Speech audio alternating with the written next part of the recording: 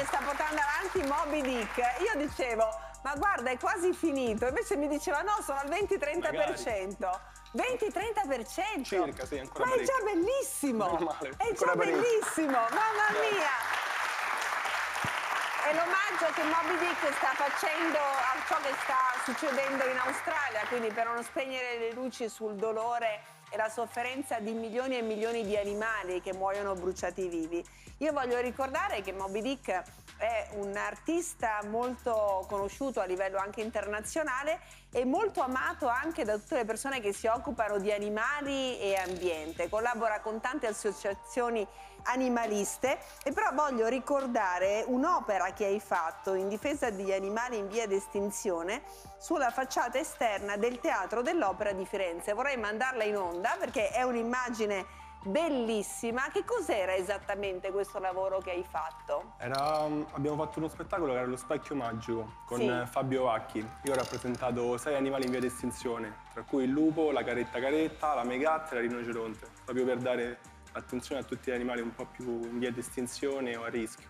Mm -hmm. Non la vedo l'immagine, ma non ce l'abbiamo? Non ce l'abbiamo? Arriva, eh, arriva. Abbiate un attimo di pazienza. Sì. Quindi un po' il concetto che molte volte le immagini arrivano, hanno un linguaggio internazionale, sono, non diciamo, hanno bisogno... Hanno Eccolo più, qua. Un po' più bisogno di attenzione, come per esempio il leopardo nebuloso è estinto. La megattera è un animale che... Quindi il leopardo nebuloso l'abbiamo rappresentato sull'estrema sì, destra, sopra. sì. Poi sotto una caretta caretta che purtroppo rimane sempre incagliata nelle reti dei pescatori. Certo, Poi c'è un rinoceronte, eh, un rinoceronte di Sumatra che anche lui è in via di estinzione e ce ne sono pochissimi esemplari.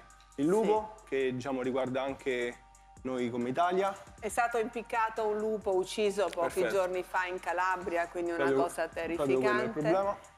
E poi? E poi abbiamo, adesso nella parte non c'entra tutto il disegno, ma ho rappresentato un altro, un altro, animale che è sempre in via di estinzione, che era un altro un giaguaro, e nella parte non c'entra. Però ho cercato di dare un po' l'attenzione a tutti gli animali sia del mare che della terra. E per questo il tuo nome, Moby Dick, non potevi scegliere Grazie. un nome d'arte migliore. Allora, Grazie. continua il tuo lavoro che abbiamo detto. Vorrei, vorrei dire tanto una cosa. Dimmi. Quando ho, ho disegnato questo lavoro sono venuti tutti quanti il team di Sea Shepherd che sono Sea eh, Shepherd è un'altra associazione è una che lotta. associazioni più agguerrite che si batte per i mari e loro hanno partecipato attivamente sia con le proiezioni in interno sia con l'appoggio al 100% che mi hanno appoggiato tutto questo lavoro che ho fatto. È durato cinque giorni, il capitano eh, della barca è venuto proprio a trovarmi mentre io lavoravo e sono stati lì tutta la sera con me, è stato abbastanza emozionante perché non è così semplice che un capitano viene a trovarti. Mi Infatti... sa che dovrai andare tu su una loro imbarcazione, ci sei mai stato? È in programma. Eh, lo sapevo, ma chi ti ferma con un nome come Moby Dick non puoi che andarci sulla barca di Sea Shepherd.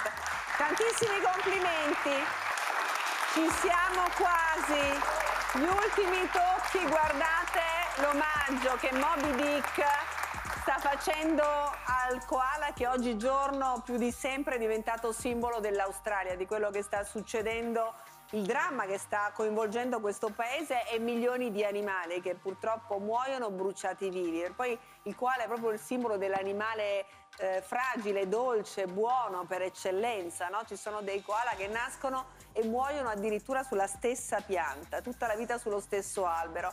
Senti Moby, ti chiamo Moby, facciamo così, visto che il tuo nome d'arte è Moby Dick. Tu fra l'altro sei anche un vigile del fuoco. Sì. Non a tempo pieno, cosa sei?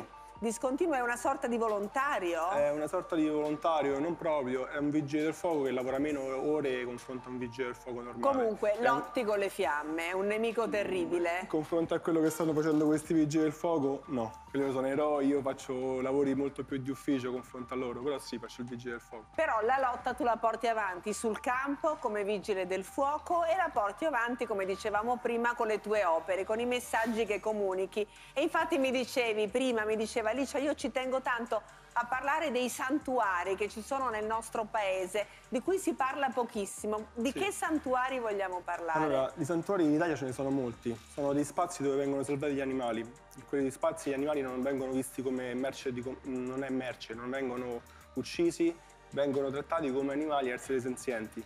E in Lazio ce ne abbiamo due molto importanti. Uno è Cabra Libera Tutti, che è gestito da Massimo Manni, dove ci sono lama, eh, tori, mucche, sono tutti animali che sono stati salvati. Un altro molto importante è Hope, che si trova dalle parti di Nevi e anche lì è un, uh, un santuario dove eh, ospita più di 200 animali tra galline, polli, tacchini e tantissimi animali che vengono trattati come dovrebbe essere trattato una, una vita. E insomma lo diceva anche la nostra ospite prima Roberta che insomma noi conosciamo veramente poco delle mucche, le conosciamo soltanto come animali da sfruttamento, eh, invece hanno un modo per vivere, una sensibilità, hanno delle emozioni, no Roberta?